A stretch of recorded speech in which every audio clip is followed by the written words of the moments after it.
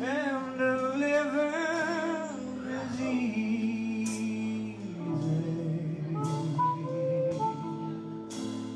It's a lovely change of pace. I mean, my full time job is with a, a hard rocking band called The Answer from, from County Down. Actually, came up with this whole idea of a of bringing a a gospel brunch type format to Belfast while I was on tour with The Answer around America. And you know, every every weekend, you'd be in one of these great music towns like Chicago, Memphis, Nashville, and rest assured you'd be able to find a, a gospel brunch somewhere along the way. You know, and, and when I say gospel brunch, I mean initially I thought that might mislead a few people in Northern Ireland, being the way it is, you know, with, with a real kind of uh, a hang up about certain labels. But, you know, in America, it's just good fun. You just go down and you hear great musicians play, taking lead from James Brown, Aretha Franklin, Mahalia Jackson, um, all the great gospel singers. Of, of, of the last 40 or 50 years. Whenever the, whenever the band was put together, you know, whenever the band was put together, I kind of gave everybody a remit that it didn't have to be strictly gospel. It just had to have a, a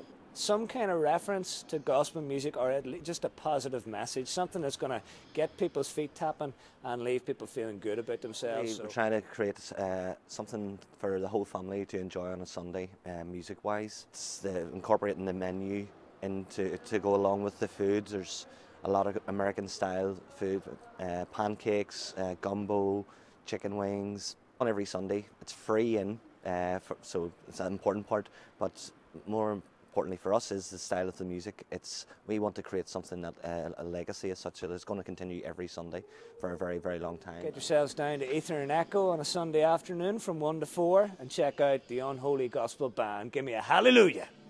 Fish are jumping,